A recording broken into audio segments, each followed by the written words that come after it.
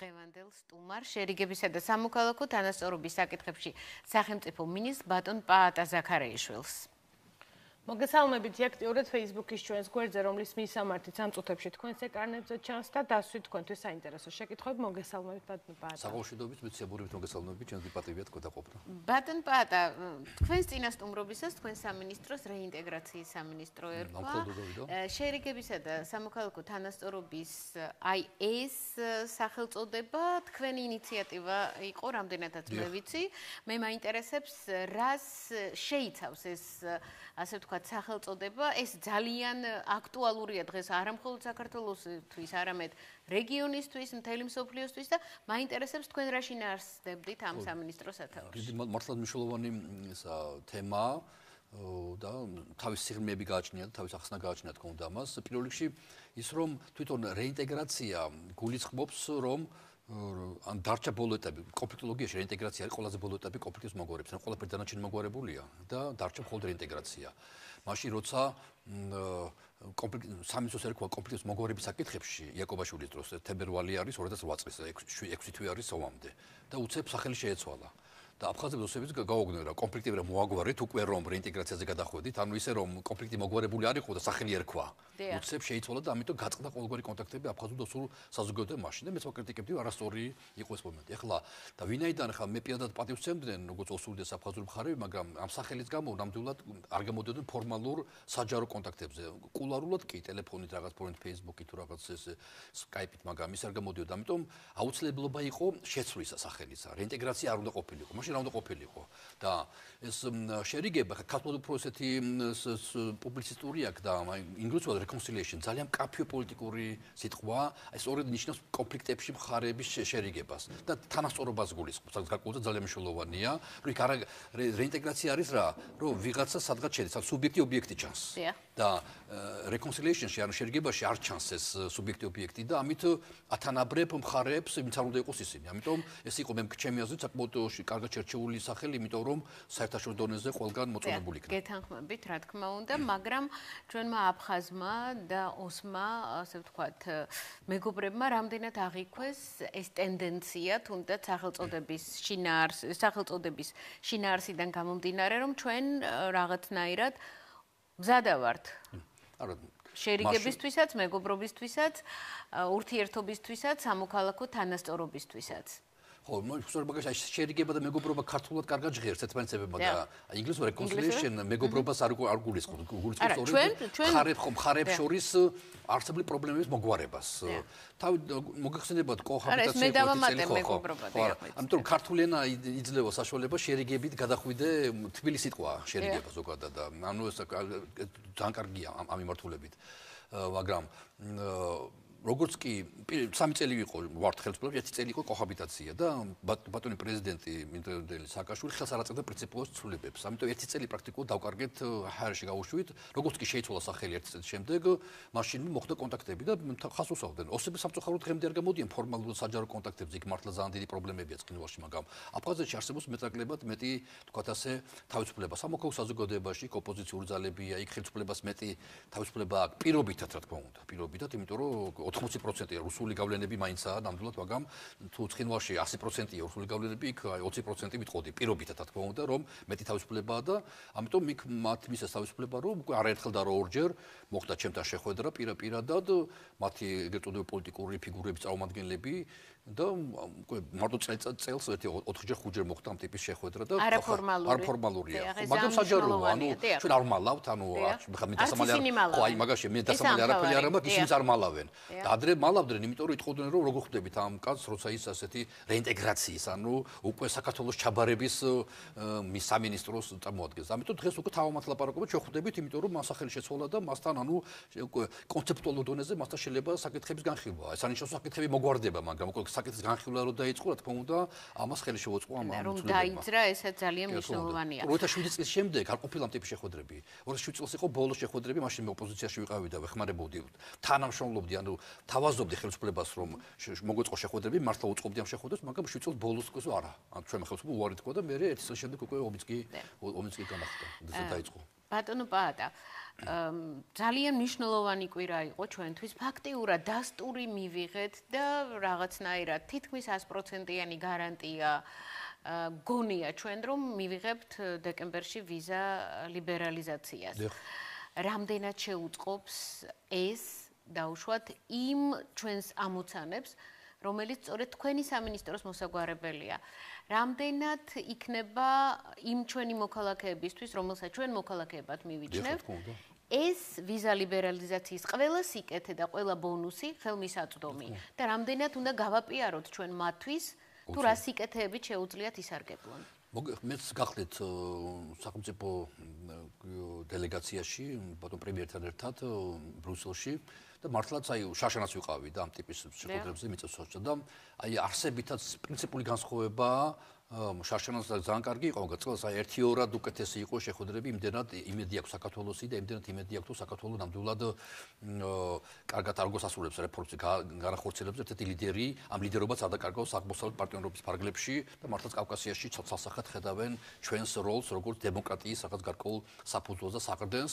და ნამდვილად მე ასე სიტყვებით ვერ გამოვიყავ, როგორც 100%-იანი, მაგრამ ნამდვილად კაფიოდი იყო, ნათქვამია, რომ დემოკრატია ყველა ველოდებით დეკემბერში სერიოზულ პროგრეს ვიზა ლიბერალიზაციის მართულები და ცალსახად მეც მქონდა ჩემი გამოსვლები, ცალსახად კაფეოდ ხაზი გავუსვი, რომ ეს პირველ რიგში ჩემი აზრით ხელშეუწყოს კონფლიქტების მოგვარებას, იმიტომ რომ საკმაოდ დიდი რაოდენობა ადამიანებისა, როგორც ხინვალიდან ისე აფხაზეთიდან ელოდებიან ამ იმას. არაერთხელ და ორჯერ სხვადასხვა ადამიანები ჩვენ და ბევრი საკურნალო ჩამოდის ძალიან ბევრი მართლა. ძალიან კარგია და ზოგს ხვდები კიდევაც და მარტო ჩემი სამისოს საშუალებით გადი ხებულობს მე ეს ჯანდაცვა მინისტრო გადაწყვეტილებას და ამიტომ ბევრი ადამიანი ჩვენთან ჩვენ გარეშე ვერ მოხვდებიან ჯანდაცვა მინისტროში. ამიტომ ბევრს ხვდები კიდევაც და ნამდვილად აი ცალსახად რო თქვა რომ ყველა არ ექნება მართალი, მაგრამ სადღაც ჩამოსულთაც 30-40% კითხულობს ამ ლიბერალიზაციაზე რა იქნება. ანუ ეს უკვე მაგალითი გავლილი გვაქვს. მოლდოვა, როცა მიიღო ვიზა ლიბერალიზაცია და მანამდე 24 წელს კვიპროსი როცა გახდა ევროკავშირის წევრი,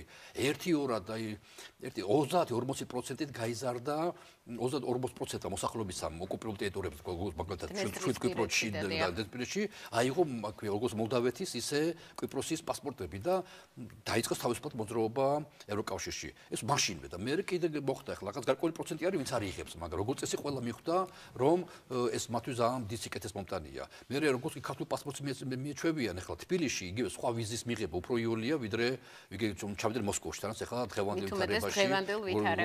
და კავკასიის მიმართ, იგივე რაღაც ესეთი კავკასიელების მიმართ და ისლამის ფაქტორი გამომდინარე რუსეთში ძალიან დაძაბული ვითარება, ჩვენ თორ ჩამოდიან აშკარად ხედავენ სულ სხვა განწყობას აფხაზები და შესაბამისად მე მგონი რომ ამ პასპორტ ვიზილიბეს შემდეგ საქართველოს პასპორტის მიმართ პრინციპული არსებითაც შეიძლება დამოკიდებულება და თქმა უნდა ჩვენ ვაპირებთ უკვე სპეციალური ბროშურების დაბეჭდას, რათა გამყოფ ხაზის გასულ როცა ხდება გადასვლა, რომ დაურიგოთ და წაიღონ. ოღონდ ჯიბეს ჩაიდება და ჩაიტანეს სოხუმში მე რეკიოლა და ჩვენებენ სხვებსაც ამ.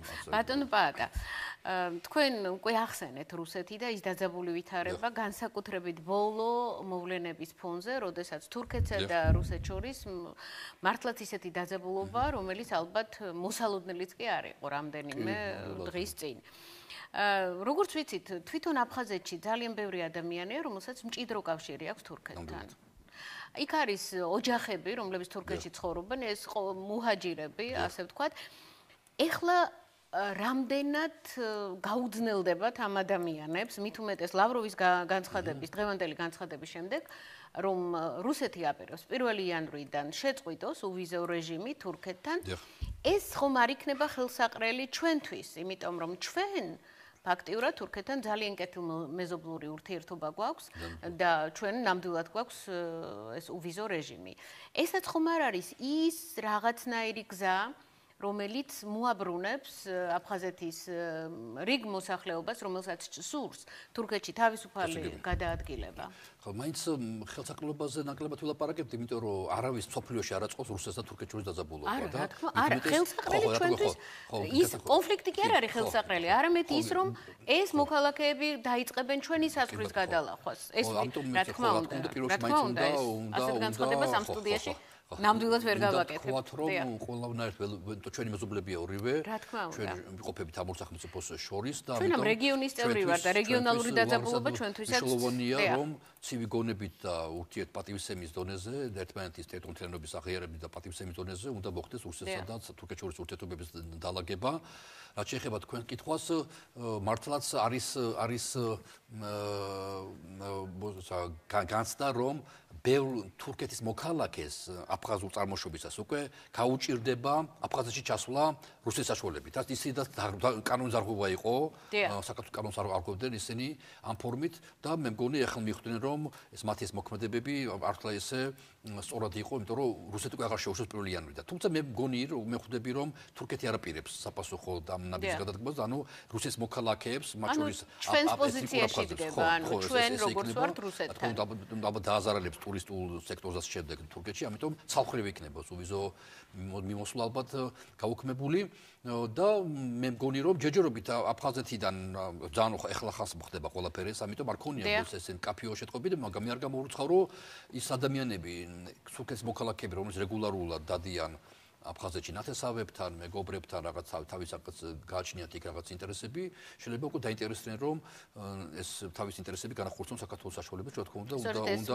უნდა უნდა ჩვენი კანონიდან ოკუპირებულ ტერიტორიებში ხებ გამომდინარე, უნდა მოახერხოთ რომ ამ ადამიანებს რაღაც განახოთ სიტუაცია გამომდინარე რომ მივცეთ საშუალება რომ მათ კონდეთ წუნობა თავის ნათესავებთან. და კიდევ ერთი იმ დავუშვათ აფხაზეთში მცხოვრებ იმ ადამიანებს, ვისაც რუსეთის პასპორტი აქვს და ის რუსეთის მოქალაქედ მოიაზრება, რამდენად შეიძლება თუ იგი მოინდომებს საქართველოს პასპორტიც იქონიოს, ეკნება თუ არა მას ამის საშუალება თუ ჩვენი კანონი გულისხმობს, რომ თუ რუსეთის მოქალაქე ხარ, აფხაზეთში მაცხოვრებელი შენ აღარ ისარგებლებ არანაირი აი ამ აფხაზეთში მცხოვრებ მოქალაქეებს უმრავლესობას აქვს უკანონო რუსული პასპორტები, ანუ გაცემული რუსეთის ოკუპირებულ ტერიტორიაზე. ანუ ეს ჩვენ ჩვენ მხრივ არ არის ვერც დარს არ ვიცი ძალიან ბევრი თქვენ გაგიგებთ ხშირად რომ გადაადგილება შეზღუდული არის აფხაზეთის მცხოვრებ მოქალაქეებს პირებისა, სწორედ იმიტომ რომ თუ ადრე 2008 წლამდე რუსეთი გასცემდა პასპორტებს ვთქვათ ასე პირობითად ლეგიტიმურს, მაგრამ თუ ეს ყოველ მიუღებელი იყო ტალევის ანგარიშმა დაადასტურა რომ ეს უკანონოდ ხდებოდა საქართველოსთან შეთანხმების გარეშე ხდებოდა ყველაფერი ეს, მაგრამ თავის ტერიტორიაზე, რუსეთის ტერიტორიაზე, სოჩაში და შემდეგ ეხლა უკვე გასცემს ოკუპირებულ ტერიტორიაზე, რაც იქ არ არის ჩვენი ჩვენს მიერ დადგენილი რუსეთის საკონსულო, არ ჩვენ ასეთ არ გვაქვს რუსეთთან დიპლომატიური ურთიერთობები შესაძლებელი უკანონობა. ამიტომ ეს ქაღალდი, ეს ქაღალდია ჩვენთვის არა პასპორტი. შესაბამისად ნებისმიერი მოქალაქე, რომელიც პირი, რომელიც ცხოვრობს აფხაზეთის ტერიტორიაზე და გააჩნია ესეთი დოკუმენტი ჩვენ მას არ თulit ასევე ოსეთ ანუ ცხინვალის რეგიონსაც ეხება კიდევ ერთი საკითხი ვიზა ლიბერალიზაციასთან დაკავშირებით რომელიც ალბათ თქვენი ასე ვთქვათ კომპეტენციის ფარგლებში უნდა განვიხილოთ. ახლა ხან გავრცელდა ხალიფატის სახელით ქართულ ენოვანი ვიდეო მიმართვა რატომ მიდიან საქართველოსდან აი ახალგაზრდები სირიაში საომრად? ესეთი ტიპის განცხადებები ხომ არ შეგვიშლის დეკემბერში? ხელს თუ ეს აღიქმება არ ჩანს არანაირად იმიტომ რომ თქო უნდა საფრთხეები ამ ტიპის რისკებზე საფრთხეებზე ყველა ფიქრობს ბუნებრივია მაგრამ ჩვენ როცა რაღაც გარანტიებს ხო არ გთხოვენ ჩვენ ამასთან დაკავშირებით? ამ წუთში მე კომპეტენტური არა ვარ, ამ ჯობია მაინც უფრო საგარეოს სტანსჯნეკასკო სამინისტრო დაუწოთ ეს კითხვა, იმიტომ იქ უფრო იქ უფრო მიდის ესეთ ინფორმაცია და იქ განიხილება საკითხი, მაგრამ ჩემს ინსტრუმენტებით მოპოვებული ინფორმაცია იგივე ბრიუსელში ყოფნისას არსად ეს არ დასრულდა საკითხი, რომ ამ ფორმით მოხდეს გადახედო პოლიტიკის ჩვენ ისედაც საკმაოდ კაცრი პოლიტიკა გვაქვს პასპორტების გაცემის და ესენი ენდობიან ნამდვილად ჩვენი ბიომეტრიული პასპორტები და საერთოდ ეს ინფრასტრუქტურა მოსახლეობის მოსახლეობის ერთ საუკეთესო თითლება ევროპაში, რა თქმა უნდა, ჩვენ ვერ შევედრებით წამყვან ევროპულ სახელმწიფოს, მაგრამ ევროკავშირის ზოგიერთ სახელმწიფოზე უკეთესი პირობები გვაქვს პასპორტების მოსახლეობის ეს ნამდვილად ასე არის. ვიზა ლიბერალიზაცია ხომ არ იქნება საფუძველი იმისა, რომ ჩვენ საქართველოსაც მოსთხოვონ რაღაცა კვოტა რომ მივიღოთ სირიიდან ტოლვილები, მით უმეტეს სირია ძალიან ახლოსაა. არ არის, არასდროს პირდაპირ კავშირი არა. გამორცხული არა რო გთხოვონ, მაგრამ არაფერთან კავშირი არ იქნება ვიზა ლიბერალიზაციას. ზოგადად, როგორც მეგობარ სახელმწიფოს შეიძლება თხოვონ, მაგრამ ეს ყველაფერი არის ლაპარაკი ხო საუბარი მესმის ჩვენი პრესით, თორე არანაირი მოთხოვნა, არანაირი წინადადება არ ყოფილა არსად, არანაირი დონეზე. გასაგებია. ნახოთ რას გვეკითხებიან მაყურებლები. ბატონო პატა ძალიან ბევრი კითხვა არის თქვენ განცხადებასთან დაკავშირებით საქართველოს ფედერაციულ მოწყობასთან დაკავშირებით და მოსახლეობა გთხოვთ რომ განუმარტოთ რატომ ფიქრობთ რომ საქართველოს ფედერაციული მოწყობა არის საუკეთესო ვარიანტი რამდენად ზათ არის დღეს რამდენად ვართ ამ გზაზე რომ წავიდეთ ფედერაციული მოწყობისთვის და მიუხედავად იმისა რომ აფხაზურ მხარეს, რა თქმა უნდა, ნეგატიური რეაქცია ქონდა ფედერაციაში შემოსვლაზე. ფიქრობ თუ არა რომ მოდესმე მაინც იქნება საშუალება რომ საქართველოს ფარგლებში განსაკუთრებული სტატუსით შემოვიდეს აფხაზეთის და ოსეთის?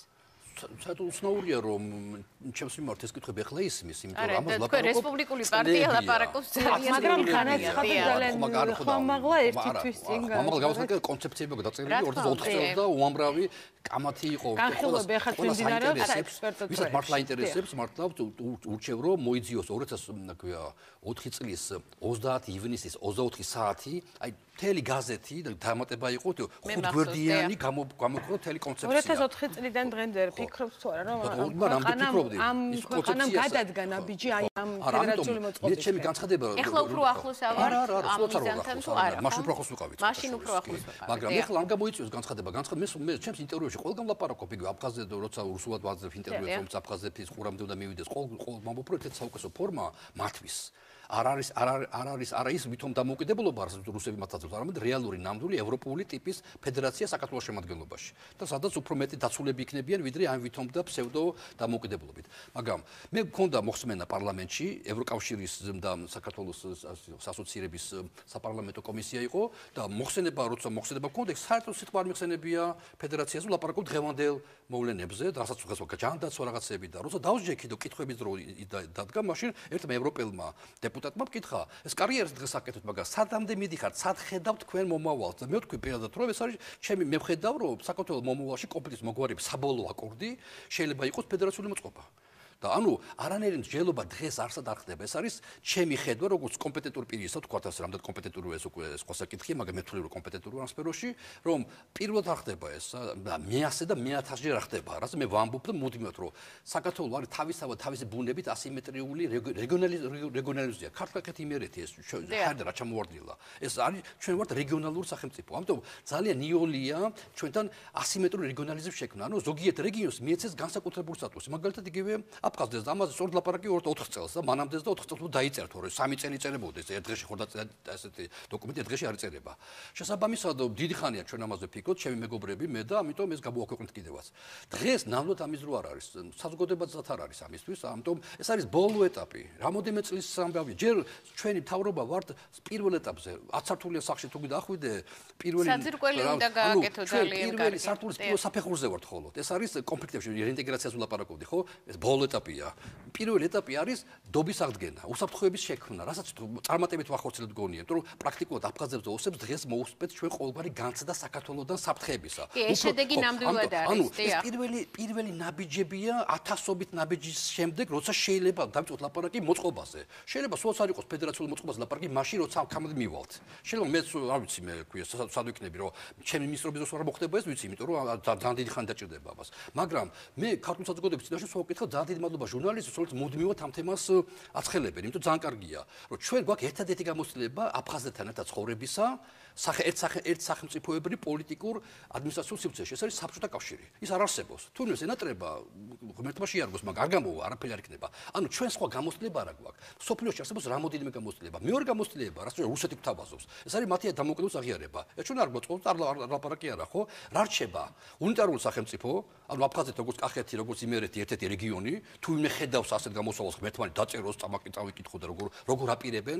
თავარი სხვა არ არის, როგორ გვინდა ჩვენ აფხაზეთი ის ხო არა რომ აფხაზეთი იყო საქართველოს შემოგონებაში როგორ აპირებს შენ ამას? საკმარისია შენ ჩაიფიქრო რომ ხვალ მივდივარ ქუთაისში რომ მეორე ფიქრი იქნება რითი მიდიხარ ქუთაისში? ურმით მიდიხარ თვითფრინავით მატარებლით. ანუ როგორ აპირებს შენ აფხაზეთის დაბრუნებას? ამიტომ მე ვეუბნები ჩემ საზოგადოებას რომ ადრე თუ გვიან ჩვენ მოგვიწევს ამას ლაპარაკი მე უკვე დიდი ხანი ამაზე ვფიქრობ. ადრე თუ გვიან კი უკვე დიდი ხანია წარსულდა ფიქრობ ამას. რომ ერთადერთი ნორმალური სახელმწიფო მოწყობა, რაც ევროპაში არსებობს, ამ ტიპის პრობლემის მოსაგვარებლად, ეს არის ფედერაციული მოწყობა.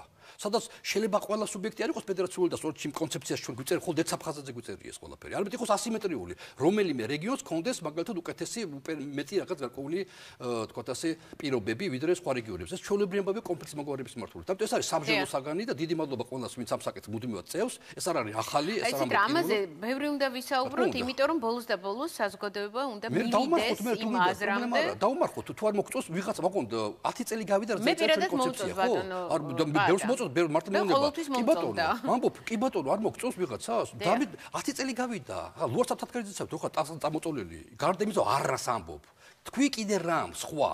დაწერე რაღაცა როგორ აპირებს? შენ მე ასე ვაპირებ. მიუღებელია კი ბატონო შენ როგორ აპირებ მაჩვენე არც ერთი ჯგუფი არც ერთი პოლიტიკური ჯგუფი არავინ არც ერთი პიროვნება არც ერთი იურისტი არავინ არ გამოჩენილა ვისაც გაწერს დაწერს თუ როგორ ხედავს ის. ერთადერთ საკეთებად ჩემ კრიტიკას. მე თვითონ შეარგოთ პრობლემა რა. მე რაც უფრო მეც მაკრიტიკებენ უფრო არა მე ეს კითხვა არის არა არა არა არა მე სხვა და არა ვარ პირიქით პირიქით მე თქვენ დიდი მადლობა. და მაყურებელსაც დიდი მადლობა რომ კითხვა სვავს. დასტურდება თუ არა ბატონო პატა ჩინური ინვესტიციების განხორციელების თემა აფხაზეთის აფხაზეთში, იმიტომ რომ დიდი ხანი ამაზე მიდის საუბარი, მაგრამ ზუსტად დადასტურებულად ეს ინფორმაცია არ დადასტურდა. დღემდე გავრცელებულია მხოლოდ მხოლოდ აფხაზური აფხაზური ინფორმაცია ცხოვრებიდან ინფორმაცია, სადაც აფხაზები იმყოფებოდნენ სადღაც რაღაც ხელშეკრულებას მოწერაზე რუსეთსა და ჩინეთს შორის სტუმრის სტატუსით, სადაც ხელი მოეწერა ჩელკავკასიაში რაღაც გარკვეულ პროექტებს.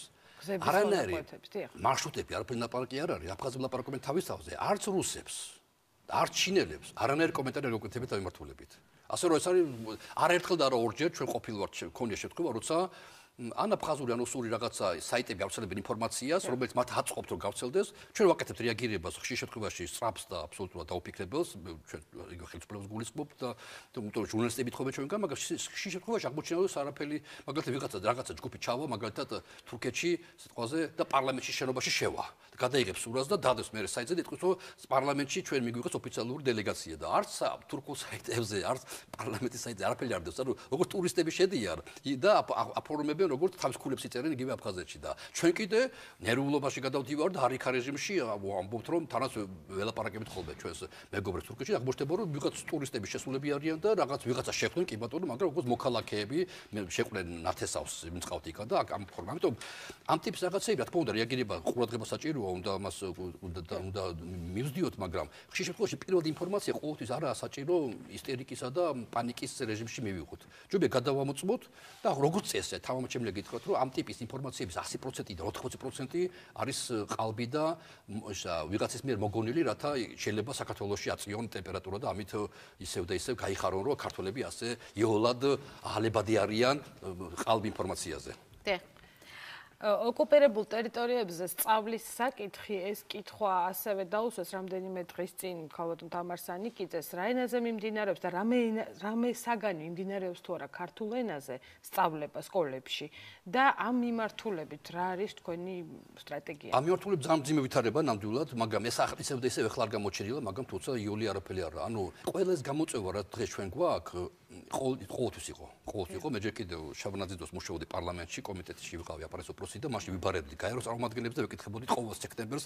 ხდებოდა განცხადება რომ ამ წლევანდელი წლიდან იწყება ქართულიანის აკრძალვა სიტყვაზე გალის სკოლებში ყოველ წელს უარესდებოდა უარესდებოდა. ისაც დღეს ხდება ქვედა ზონაში. გალის რაიონი მოიხსნება რაღაც გარკვეული ტერიტორია. ზედა პირობითად ზედა და ქვედა ზონა არის. ზედა ზონაში უკვე დიდი ხანია უკვე სამწუხაროდ მათ პრაქტიკულად ყველა საგანი ჩაანაცვლეს რუსული ენით ეხლა საუბარია ქვედა ზონაში არის ეგრეთ წოდებული 11 ქართული სკოლა. ამ ქვედა ზონაში და ეხლა წელს პირველად შეიტანეს პირველ კლასში, როგორც ამბობენ ზოგიერთ სკოლაში პირველ კლასში ჩაანაცვლეს ქართული ენა, რუსული ენა, ანუ კი არ განდევნეს ბოლომდე ქართული ენა, მაგრამ დატოვეს მხოლოდ როგორც ენის სასწავლებელი და თუ იყო სამი პირობითად 3-4 საათი კვირაში, არის 1 თუ 2 საათი. ანუ შევიწროება საკადრე რუსიფიკაციის ნიშნებს საკადრე, მაგრამ მეოთხე კლასიდან ზემოთ ყველაფერი ჯერჯერობით მიდის ველებურად ქართული ენის სწავლებით, როგორც აქამდე იყო, მაგრამ აშკარად ეს ნიშნები არის შემაშფოთებელი და ძალიან ახალგორში როგორა? ახალგორში ამ შემთხვევაში პირობითად უკეთესად იცი მოსახლეობა ძალიან ცოტა ახალგორში საფრთხე, მაგრამ რა ანუ სკოლები შემცირდა, მაგრამ არა იმიტომ, რომ ვიღაცამ დახურა, იმიტომ რომ მოსწავლეები არ იყვნენ და გამსხულდა რამოდენიმე სკოლა და არის პრაქტიკულად ქართულ მოსახლეობა საშუალება აქვს ისწავლოს ქართულად ხო ეს ეს მომენტია, მაგრამ ეს როც არნიშნავს, რომ ხვალაც ასე იქნება. იმიტომ რომ უმრავლესობა გადმოსულია. ხო, ხო, ეს სამწუხაროდ სხვა სხვა რეალობა. მოკლედ ამიტომ ხა ჩვენი ამოცანა, იმიტომ რომ როცა აფხაზები თავს იწონებენ სოფლიოში ვითომ და დამოკიდებულობის ღირსნი არიან, ჩვენ ჩვენ ყოველს უუნებით უცხოელებს რა რასაგავს ესა, რა რა რა პოლიტიკა ასეთი, სადაც რომელ საზოგადოებას შეიძლება იყოს ლაპარაკი, სადაც ადამიანებს სიტყვას ჯერ აძლევენ პასპორტებს, რომ ჩვენთვის მიუღებელი და აღიარებული რომ მე რაღაცობაც ართმევენ. ამდე ხანს იყო ქართულ ენაზე სწავლება, თუმცა ხდება ნელ ყველა სკოლებში ნელ-ნელა ხდება შემცირება და ეხლა უკვე ჩამოვიდნენ უკვე რამდენადაც ცნობილია? 2016 წელს ხინვალის ხელისუფლება აპირებს დადო სტატისტიკა, რამდენი ქართველი დარჩა მათ მიერ კონტროლირებად ახალგორში. მაგრამ უკვე უფრო მეტი ციფრი გამოვიდა ვიდრე სინამდვილეში არის, იმიტომ რომ მე ვიცი ინფორმაცია როგორ ატარებდნენ ისინი ეგრეთ წოდებულ აღწერას ახალგორის რაიონში და პრაქტიკულად ყველა ნათესავებს მეგობრებს ყველა წერდნენ, როცა ესენი პრაქტიკულად არ ცხოვრობენ უკვე ახალგორში. მაგრამ მაინც აი თული ვითარება დღეს გალის რაიონში ჩვენ თავი ამოცანა რა არის? ის ეკეთება შეგვიძლია ჩვენს რომ გავაკეთო მაგალითად მეტი მხარდაჭერა მასშტაბლებს ხო სტრატეგია უნდა გქონდეს თორე ის ვიცი ცხოვრობს არის გმირები. სამწუხაროდ საკაშვილის დრო სამართლუნა მეხდებოდა. ეძახდნენ მოღალატეებს ასარად და იგივე ახალგორი ახსენეთ თქვენ. ახსენებო ზანსობ ისტორიული გამო ფრაზა ივანიშვილის მერაბიშვილის რომ ის რა ქვია ვინც იქ ცხოვრობს მოღალატები ხართ და ასე ასე ასე დაგელაპარაკებით და ხალხი გამოვიდა და წერომაში დაიწყო ცხოვრება, იმიტომ შეეშინდათ რომ მერაბიშვილ სამკაცხედებას არ მოყოლოდა ეს. ამ დროს ეს არასწორი პოლიტიკა იყო აბსოლუტურად. და ჩვენი ამოცანა რომ ეს ხალხი გავამყაროთ მან და პირობები შევუქმნათ. ამიტომ ჯერ პირველ რიგში გვაქვს კონტაქტები აფხაზებთან ხა ვეუბნებით. აქედან არაფერი არ გამოვა. თვით თვითონ რომ ლეგენდებით ხსავენ რომ ბერია თვითონ ებძოდა აფხაზურ ენას არა, საბჭოთა კავშირის დროსაც კი. როცა იყო კაკებ იყო ძლევამოსილი ძლიერი და რუსული ენა იყო ტოტალურად მოდებული, მაშინაც კი ვერ მოახერხა საბჭოთა პერიოდმა აფხაზ პატარა ენის აფხაზური ენის გაქრობა. დღეს როცა არათერ რუსული ენა არ არსებობს კავკასიაში, ჩვენ და საქართველოსში მაინც, როცა არის ქართული ენაზე არის ყველაფერი. ინტერნეტი უკვე აღარ ლაპარაკობ სკოლებზე, ხო? ტელევიზიები ყველაფერი ქართული ენაზეა. გამორიცხული აბსურდულია, სისულელეა, გააქრო ქართული ენა. უბრალოდ წვალობს ადამიანები ადგილზე. და ეს არის მაწინაამდე პირველ რიგში აფხაზური პოლიტიკის წინააღმდეგ მართული ქმედებები ეს. უბრალოდ ჩვენ მე ვდარდობ ჩვენს მოსახლეობაზე ვისაც უნდა მართლა რომ ღირსეულად განათლება მიიღოს თორე ჩვენ ყველაფერს გავაკეთებთ და მე ეს ახალგაზრდები რომ როცა მაგალითად უმაღლეს ჩააბარებენ თუ რაც არის სპეციალური პროგრამებით მაგალითად დავაწიოთ ის და მათ მიიღონ ის ღირსეული განათლება რაც მათ ჭირდება თვითონ რომ ვიდრე ეს ხალხი აფხაზეთში ითვლებიან მეორე ხარისხოვან ადამიანებად მათ არაფერ სრული არ ექნებათ. აი ესეთი პოლიტიკით ასეთი ფორმით რომ შეიყვარონ აფხაზები და აფხაზებთან კონტაქტი კარგი ურთიერთობები პირიქით უფრო მეტად ხდება, რა თქმა უნდა, მათი გაუცხოება იმ რეალობის მიმართ, რაც არის დღეს ოკუპირებულ ტერიტორიაზე. ამიტომ ჩვენ გვყავს ჩართული საერთაშორისო ორგანიზაციები, გვაქვს უამრავი მაგალითი ბალკანეთში, მაგალითად, როგორ წერება სიტყვაზე ბალკანეთში კონფლიქტურ მხარეებს შორის სახელმწიფოებრივი გეოგრაფიის სახელმწიფოებრივი იქნება თუ ეს ისტორიის სახელმწიფოებრივი და გვინდა ჩვენ უცხოელი მეგობრების ხარდაჭერით შევთავაზოთ მათ. ეხლა გატაცებებიდან განსხვავებით, რაც ცოცხალია და ყოველ ადამიანს ყომწუჩი ეხება, განათლების რეფორმები და განათლებაში რაღაც ცვლილებები ასე ერთღეში არ კეთდება. ამიტომ საჭირო თვეები წლებიც კი.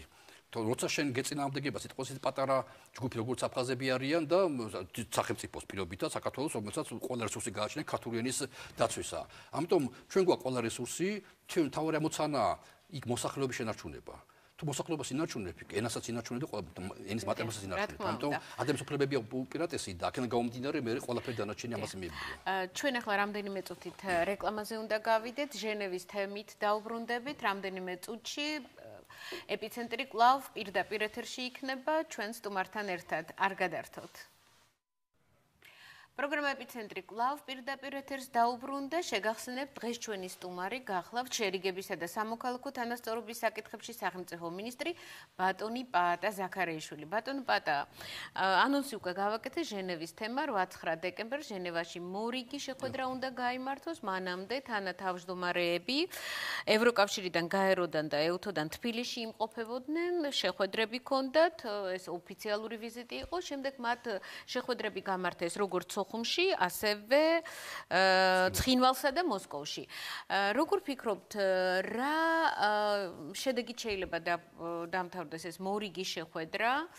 და იქნება თუ არა ეს 34 რაუნდია, რამდენადაც ჩვენ ვიცით, იქნება თუ არა რაღაცა განსხვავებული, თუ ისევ დაუშვათ ეს იქნება ფორმალური. გარღვევას ნამდვილად, მაგრამ აუცილებელია ეს შეხვედრები.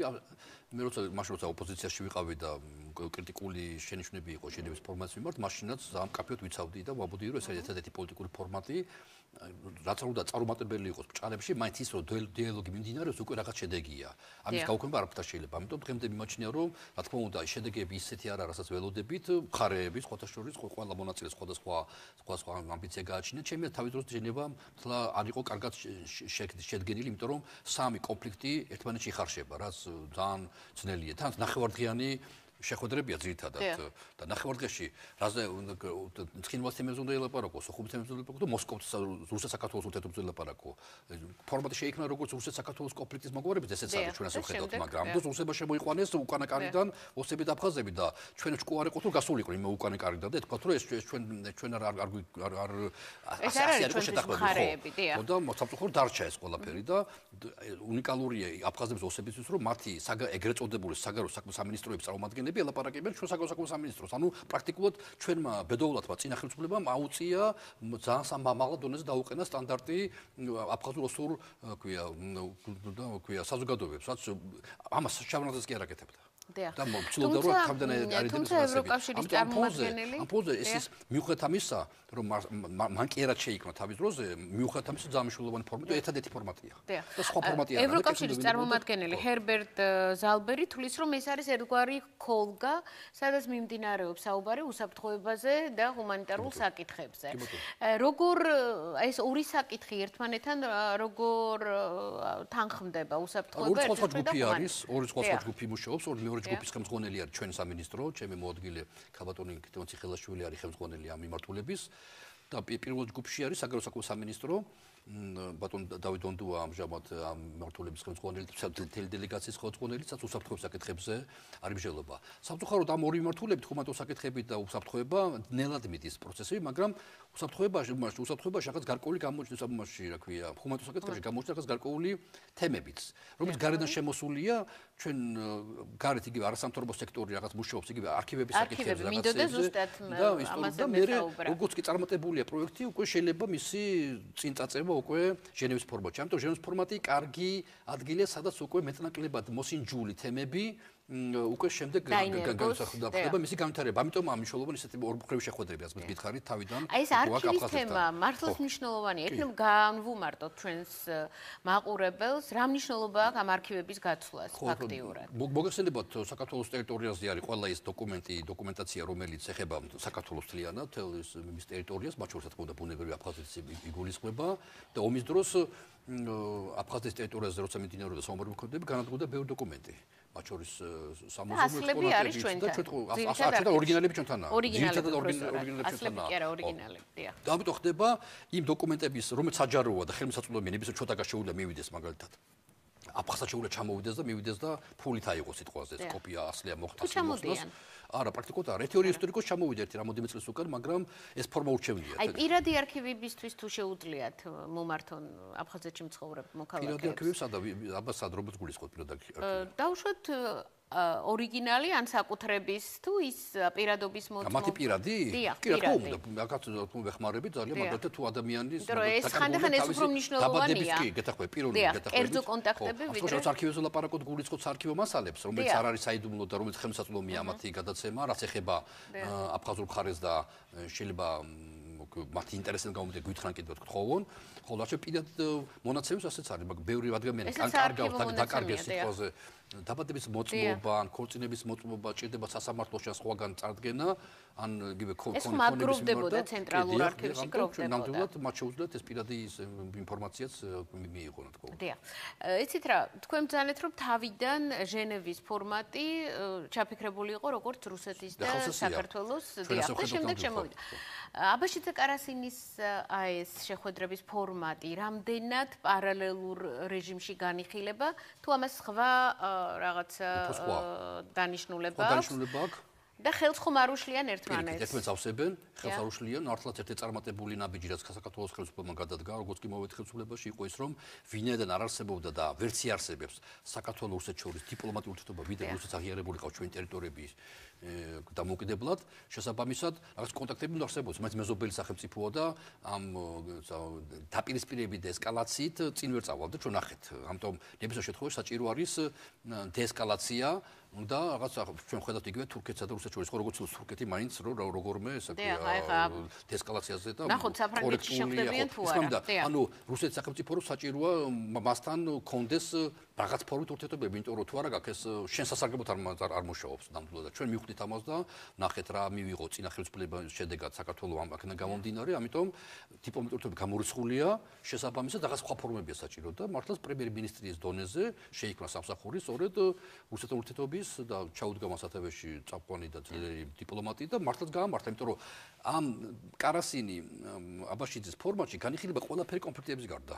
და ხშირად საფრთხეოდ მე ამ პრინციპულ არ ვეთახმები მოსაზრებას, როცა რაღაც იძაბება კონფლიქტის ვითარება, მაშინ ჩვენ საზოგადოება, ოპოზიციური პარტიებიც, იქ პასაპარლამენტო, არსაპარლამენტო, აი ახლა რო წავა ბაშიძე, კარასის რო შეხვდება, აუცილებლად დააყენოს რაღაც იგივე მართლმხატებს საკითხები. ეს არ არის ამ ფორმატის საქმე და შეიძლება სხვა საქმეები გაფუჭდეს. ამიტომ თუ ამ ფორმატმა გაამართლა ჯობია ნუაურეთ მას სხვა სხვა თებებს და როცა იქ დაკი საუბრობენ სოფლის მეურნეობაზე, ღვინოზე, ტრანსპორტზე, ჯობია ამართლა და ვიზა ლიბერალიზაციას თემასაც მე მგონი შეეხნენ, იმიტომ რომ კარასინა თქვა რომ ჩვენ დავიწყებთ ამაზე ფიქრსო. არ ვიცი რამდენად რეალურია კარასინის ეს. ნებისმიერ მოსახლეობაში, ნებისმიერ სახელმწიფოში რაც უფრო მეტ ადამიანს საშუალება აქვს დაუბრკოლებლად იმოგზაუროს სოფლიოში, ხოლმე ხოლმე მისასალმებელია, თუმცა ჩვენი ეხლა არ ვიცი მე რუსები რატო აკეთებენ ამას ეხლა მაინც და მაინც, მაგრამ ჩვენი სწრაფვა ევროპისკენ და ევროპულ ინსტიტუტებისაკენ ცალსახა შეუქცევადია, თუმცა რა თქმა უნდა ჩვენ ჩვენ ინტერესები გამომდინარე, ჩვენ ვაპარაკობთ. მე მგონი არც დასავლეთი ამის წინააღმდეგი. რუსეთთან კუ პირიქით. მე მგონი რომ პირიქით. რუსეთში ვიყავთ ახლა, აი ცალსახად პირ ნომერ პირველი ფრაზები იყო ხოლმე, რომ ჩვენ აღტაცებული ვართ კიდევაც ასეთი სიტყვებით ჩვენ ხშირ აქვს იმ სიტყვებს შეშფოთებულები ვართ ხო აქვს ამოლის ხოლმე ან და რაღაცას. აი აღტაცებულები ვართ ამბობდნენ ასე იწყებდნენ სიტყვებს როგორ ხედავთ როგორ კლავდებით თქვენ აი ამ რუსეთთან ურთიერთობებს და რამდენად რამდენად ახლა წარმატება ვერ იტყვება და შედეგიანია ეს თქვენი პოლიტიკა და ნამდვილად სამაგალითოა და ეს არის ერთ-ერთი მნიშვნელოვანი ფაქტორი ჩვენი ევროპაში ინტეგრაციისა. მეტ ინტეგრირებულ ხედავენ რომ ჩვენ არ ვაპირებთ ევროპას როგორც ჯოხი გამოიყენოს რუსეთის წინააღმდეგ. ჩვენ გვინდა ევროპა ჩვენს გასაძლიერებლად ანუ ჩვენ შეიძლება მხოლოდ ხო დემოკრატიით გავიმარჯვოს ხო არა ჩვენ ტანკებით თვითონ ევროპას ვერ მოვერებთ დემოკრატია დემოკრატია არის ის, რაც არის უნიკალური იერარქია, რომელიც რაც შეეხება პირდაპირ დიალოგის დაწყებას აფხაზებთან და ოსებთან, არის ამასთან დაკავშირებით კითხვები. მიუხედავად იმისა, რომ გარკვეულწილად საქართველოს ხელისუფლებამ დაანახა რომ არის ძალიან კეთილგანწყობილი მათ მიმართ, მათ მხრიდან არ არის არანაირი ნაბიჯი, ყოველ შემთხვევაში ისეთი, რომელსაც ჩვენ დავინახავთ, შესაძლოა თქვენთან იყოს თქვენ ხედავთ. თქვენ ხედავთ, მაგრამ ხო ვერ გვეტყოდით აი ამ სამი მე ვხედავ და რაღაცები არის მაგრამ საკმარისი არაა. მე არ მაკმოყოფილებს ნამდვილად მაგრამ მეორე ხო გაცრავად მაგრამ სამი წელი გავიდა მარტო. ეს აი ამ სამი კონფლიქტების სამი წელი შედეგი არის ის რომ ომი არ ომზე ლაპარაკი არაა გუშინ მქონდეთ კონფერენციაზე იყო შეხვედრაზე. კავკასიურმა სახმა გააკეთა. მე მქონდა კიდევაც მე საერთო ჩართვები. ესე იგი ჩემ ოპონენტებმა იყვნენ და კითხვის მიმისოდნენ ძირითადად. ესე იგი დამაყარეს კითხვები და ბედნიერი ვიყავი. კითხვები თუ არც ერთ კითხვაში არ იყო ომის თემა. ომის თემა. ანუ ესე იგი, კითხვებში ჩანდა რომ რამხელა სხვა სხვა პოლიტიკა დავიწყეთ ჩვენ. ანუ დღეს ჩვენ ვაკრიტიკებენ, რატო კარგად არაკეთებ იმას, რასაც აკეთებ. რატო მეტი შედეგი არა გაქვს? როცა ჩვენ ვაკრიტიკებთ ხელისუფლებას, ამას ნუ აკეთებ, ომისკენ მიდიხარ. ნუ წვავ ავტობუსებს და ნუ აბრალებ აფხაზებს, იმიტომ რომ ეს ომისკენ მიგიყვას. ნუ გადაკავს ბავშვები გალში და ნუ აბრალებ მათ ვითომ ის უნდა ერგნეთის ბაზრობას. ერგნეთის ბაზრობას ნუ ხურავ, იმიტომ რომ რაღაცას ვეკამათებოდით, ამას ნუ აკეთებ, ომისკენ მიხვალ და სამწუხაროდ საუბედუროდ ომისკენ მივიდნენ. ჩვენ გვაკრიტიკებენ რაში, რასაც აკეთებ? კარგად გააკეთე რა, ანუ მეტი გააკეთე, მეტი ნაბიჯები გადადგე, ანუ რა თქმა უნდა, საკრიტიკებელია და რა თქმა უნდა, მაგრამ სულ სხვა რაღაცა, ანუ ამ სამ წელს განმავლობაში რა გვაქვს ხალხო, მართლაც ახლა კონფლიქტებში ვარ, რამდენი წელია ჩახარშული და ასეთი სამწლიანი მშვიდობიანი პაუზა არ ყოფილა არც ეცხვა მონაკვეთში, რომ ადამიანები არ იყუპებოდნენ საომარ მოქმედებების დროს, რომ დამატებითი დენულები არ ყავდეს, რომ დამატების სოფლები და ქალაქები არ კარგებოდეს. ესკალაციის კონტექსტი არა. გაიხსენეთ რა იყო 2003-2007 წლების განმავლობაში. ყოველ რაღაც ხდებოდა, რომ აი ხვალ ომი უნდა ყოფილიყო. არიქა რეჟიმი იყო, თვითონ ვერავი ჩამოაგდეს, ხვალ რაღაცა იქნება. აი ბავშვები გადავიდნენ, რაღაც ავტობუსები და თუ არა ერთ-ერთ მიღწევათ რომ, როდესაც მართულ ხვართების ინტენსიური გაბმა მიმდინარეობდა საქართველოს ხელისუფლებამ პრაქტიკულად სიმშვიდე შეინარჩუნა, რომელიც ეს ფაქტი ბევრისთვის ძალიან გამაღიზიანებელი აღმოჩნდა. რა თქმა უნდა, თითქოს რა თქმა უნდა, მართლაც გამოწვევა. ამიტომ როცა არაკავს დაღუპული, როცა არაკავს დევნილი ეს თუ ეს არ დაინახე, მაშინ რა თქმა უნდა, მართლაც ძალიან ძალიან თვალსაჩემი რაღაცა მოვლენაა. მაგრამ როცა ხედიცი რომ ამას განიხილავდა როგორც აი შერიგებას ამ ფაქტის მიმართ. მართლაც ყოველთვის იყო. სააკაშვილის დროს პარლამენტმა დადგენილებაც კი რეზოლუციაც კი მიიღო, რო უყვართ ახლა ოპოზიციას. რეზოლუცია მივიღოთ, რეზოლუცია მივიღოთ. ორჯერ რეზოლუცია მიღებული მართლხლათების წინააღმდეგ. ესე იგი, ესე იგი ავლებდნენ კი რეზოლუცია მიღებულია, ხო? ანუ რა რა ამ ქაღალდება. ანუ ზოგადად ჩვენ ვინე და სხვა რთული თემები მოუსპეთ, დაგვრჩა შედარებით არართული თემა. ასე რთულია, მაგრამ სად ადამიანის დაღუპვა? ახლა ნახეთ, მაგალითად ჩვენ გარშემო რა ხდება? მართლაც ასე რაღაცა მოულოდნელად რაღაცა რა ხდება, რა ხდება? კონფლიქტებში რა ხდება? იგი ყარაბაღში ნახეთ. იქ არ არიან სამშვიდობოები. რა მართლხლათებზე ლაპარაკი და რა ადამიანის გატაცებას ლაპარაკი დღე არ გავურო ადამიანები მოკვდეს.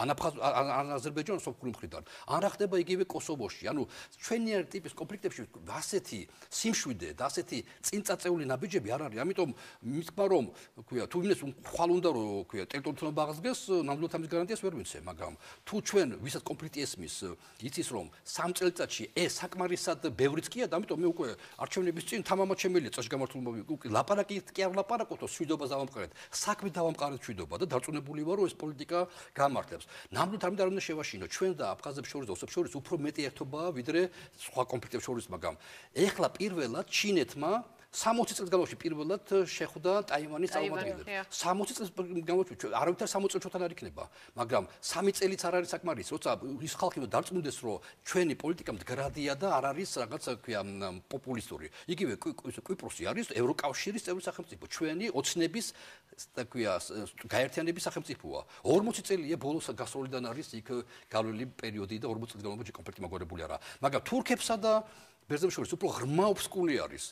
ისტორიული, კულტურული, ენობრივი, რელიგიური ყველანაირი ჩვენს აფხაზებს შორის არ არის ეს გაუცხოება. დღემდეც კი შერეული ქორწინებები არის შედარება არა რაოდენობაში, მაგრამ თუ რომელი თუ აფხაზი აფხაზები ბზადარიან შერულ ქორწილში შევიდნენ სხვა ეთიკურ ჯგუფთან, ქართველები არიან პირველ რიგში. ანუ ეს გარდა ამისა, გარდა ამისა, იგივე რუსეთში მცხოვრები, სხვა ქვეყნებში მცხოვრები აფხაზი და ქართველები ერთმანეთთან მეგობრობენ და იქაც კი ხდება ქორწინებები მათ ოჯახებს შორის. ანუ ეს რესურსები რაც გაგვაჩნია, უნდა კარგად შევაფასო, გავანალიზო და გამოვიყენოთ. მე რა რა არის აფხაზების ზუგს უკან, არც არაფერი.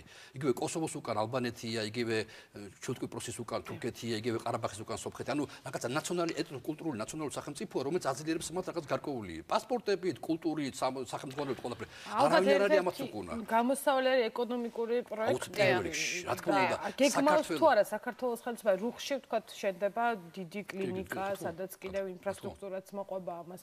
როგორ ფიქრობთ? პირველ რიგში თქვენ საქართველოს დადგეს ეკონომიკად ფეხზე, ეს ძალიან მნიშვნელოვანი ჩვენთვის. ანუ ჩვენ ეკონომიკურ წარმატება იზიდავს და იზიდავს ამ ამ ხალხს, როგორც კი. ეს მოდით იმ ფეხბურთზე ჩამოსულ ახალგაზრდებზეც ვთქვათ, იმიტომ რომ ეს არის რაღაცნაირ კავშირში. ჩამოვიდნენ, ნახეს, მოეწონათ, ჩავიდნენ და იქ გაუზიარეს. აი კიდევ ერთი ცვლილება, აი რაც ამას უკავშირდება.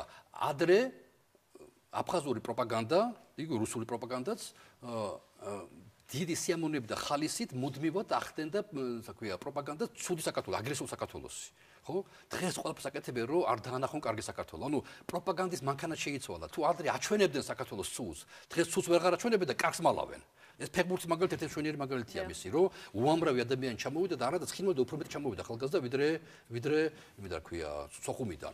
მაგრამ სოხუმელს უფრო ეყოთ მეტი სითამამე და Facebook-ზე დაწერეს სურათები გამოაქვეყნეს ილაპარაკეს და რაც ნიშანდობლივია როცა შეუტია საზოგადოების წარმომადგენლება, რომ ეს რა მიქარეთ და ბოდიშაპტიცა და გავასო კი კი დაიმალნენ და კი არ კი არ შეეშინდათ, პარ შეტევაზე გადავიდნენ. ეს ძალიან მნიშვნელოვანი, ას არ ყოფილა ადრე. ამიტომ აშკარას საქართველოს მიმართ მოსახლეობაში, როგორც ხინვალში, სოხუმში, საქართველოს მიმართ, სახელმწიფოს მიმართ არის საკმაოდ გაზრდილი ნდობა. როგორც კი აგრესია არ არის, მაშინ მეჩნდება კეთილგანწყობა. დიახ. თან არც ის არის დასამალი, რომ ის ახალგაზრდები ჩამოვიდნენ აქ ფეხბურთის საყურებლად, არ არიან უბრალო ოჯახის წარმომადგენლები, თვალსაზრისით, რომ ალბათ არიან ეგრეთ წოდებული ოქროს ახალგაზრდობა ეს არის იმ ხელისუფლების წარმომადგენლების შვილები და ეს უკვე ძალიან მნიშვნელოვანია რომ მათ დაინახეს რომ ეხლა ეხლა ხალხს გავცელ და გვარს ვერ დავასახლებ მე გეტყვით თქვენ ცალკე მაგრამ ერთი ძალიან ცნობილი აფხაზი ადამიანის დიდი ოჯახის წარმომადგენლის ძალიან დიდი წერილი, ვაგორდიანი წერილი Facebook-ზე, თუ როგორ მოყავდა ავანტყოფი თბილისში. აღწერილია დეტალებში, ახლა წერილის ნიჭია კეთობა, ძალიან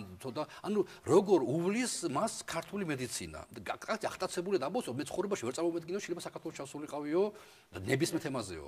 საყოველთაო ჯანდაცვის პროექტზე რა თქმა უნდა ბუნებრივია სარგებლობა. და ჯანდაცვას მოყვა ახლა სხვა რამე მოყვა. ჩვენ ფასოდ კონოლოდ ფუნე როგორც ყველა მოქალაქეს, მაგრამ როცა ფული თავდება გადადია თვითონ ხალხიდან ფულს. სოჩაში კი არ მიდია სამკურნალოდ და მოსკოვში ან და ვლადიკავკაზში არა.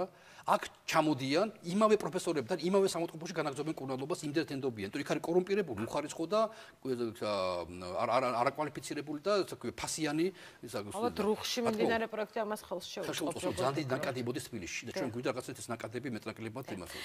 ჩვენ კიდევ ერთ თემაზე უნდა ვისაუბროთ. თქვენ ის სამინისტროს ასე ვთქვათ ხელმძღვანელი ბრძანდებით, რომელიც სამუქ სამოქალაქო ასე ვთქვა თანასწორობის და შერიგების იდეას ანხორციელებთ ეთნიკური უმცირესობები, რომლებიც საქართველოში ცხოვრობენ და განსაკუთრებულად მინდა შევეხო მაჰმადიანების თემს, იმიტომ რომ მოგეხსენებათ იმ ვითარებაში, რაც დღეს მსოფლიოშია, ალბათ მნიშვნელოვანია ვთქვათ რა პროექტები ხორციელდება და როგორია მათთან ასე ვთქვათ მათ ინტეგრაციის ხო, ამ თქოს როცა ეხება სიტყვა ბახმადიანებს, მათი უფლებების დაცვაზია, რათა მათი მათი აღსარულობა იყოს ქვია დაცული და რეალიზებული. ნამდვილად შემიძლია გითხრათ, რომ რაცა ყოფილა საერთოდ დამოუკიდებლობის საქართველოს პერიოდში, გახსოვთ ბოლო 2-3 წლის განმავლობაში, მოგეხსენებათ 2001 წლიდან საქართველოს უნაზღაურებს სიმბოლურად მართლმადიდებლურ ეკლესიას იმ ზარალსაც მიიღო მან ტოტალიტარული რეჟიმის დროს, კომუნისტური რეჟიმის დროს, მაგრამ სხვა სხვა რელიგიური გაერთიანებები, რომლებიც ასევე დაზარავდნენ საბჭოთა ტოტალიტარული რეჟიმიდან, აღებულობდნენ. ამაზე ჩვენ მივიღეთ გაწყვეტილება, რომ ყველა ის კონფესია, რომელიც დაზარავდა საბჭოთა საბჭოთა პერიოდში მატერიალურად პირველ რიგში, რომ მათ მათ კონდე დახმარება და სიმბოლური, იმიტომ რომ არ უნდა ერთის რა რა არის ეს ვერავინ ვერ ვერ აღწერს ამას, მაგრამ რომ სახელმწიფო კეთილგანწყობას გამოხატავს და რა თქმა უნდა ამ სერიოზული ჰქონდა, ქვია, გავლენა მოვლენა გასაგებია მაგრამ მე ამ შემთხვევაში არამატერიალური ასე ვთქვათ პროექტები მინდა.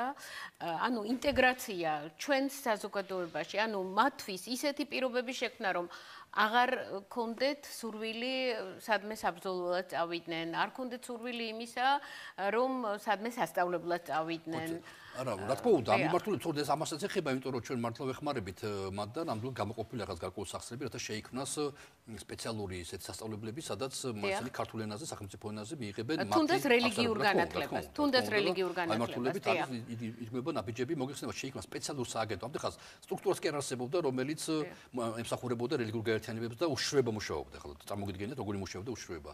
ამიტომ შესაბამისად ჩვენ ხელისუფლების მოსვლის დროს ჩვენ გადავწყვეტეთ, რომ უნდა არსებობს საჯარო პოლიტიკური ორგანო და პრემიერ-მინისტრს შეიქმნა რელიგიურ საკითხების სააგენტო, რომელიც ამართულებით მუშაობს საკმაოდ სერიოზულ ნაბიჯებს დგავს და აშკარად ჩად ეს რას ვქრებ ძალიან განათლება იქნება თუ სხვა რამე ესეთი ინტეგრაციის საკითხები, რომელიც მათ დატოვებს საქართველოსში, რა თქმა უნდა, ეს ეს ჩადებული ამართულებით, თუმცა რომ ახოთ ევროპული სახელმწიფოები ადამიანები მაინც მიდიან დემოკრატიულ სახელმწიფოში ვერ ვერ აგზალა გადაადგილებას, თუმცა თქო ჩვენ ყურადღებით უნდა ვიყოთ ამართულები და მინიმუმს უნდა დავიყვანოთ ჩვენ ჩვენი მოქალაქეების სურვილი რომ სხვაგან დაინახონ თავიანთ ინტერესებს და რეალიზაცია მოხდონ მისი.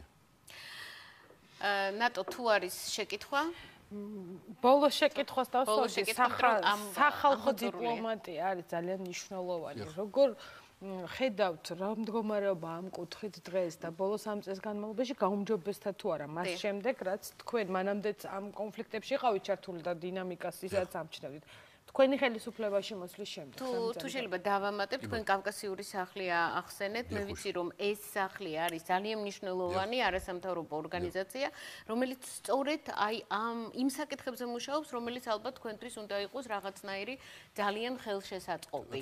არასამთავრობო სექტორით როგორ გეხმარებათ ამაში? ხო, მე ერთ პერიოდი აქ სექტორში ვიყავი და გაკოლწილად ვცდილობდი დახმარებოდი ხელისუფლებას, ამას ისინი ხებულობდნენ დახმარებას ყო საკითხია, მაგრამ შეხვედრები, კონცეფციები, რაღაცები, რათა ხელისუფლებას კეთდებოდა ყველაფერი ესა.